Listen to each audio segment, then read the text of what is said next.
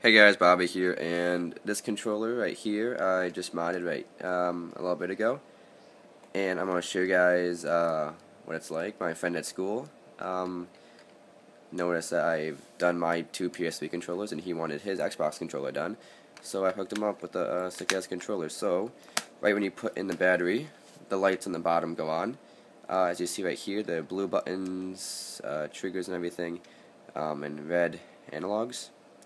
And uh, so that's pretty darn cool. And if you turn it on, got the um, the rings, uh, blue, red, and blue and red again. And if you shoot it, whoops.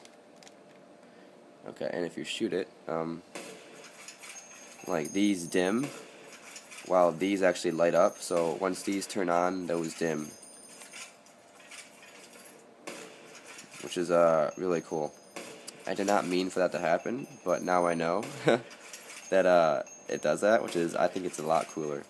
So yeah, that's all guys. Thanks for watching. If you have any ideas, uh, post a comment down below, and I'll see you guys next time. Peace.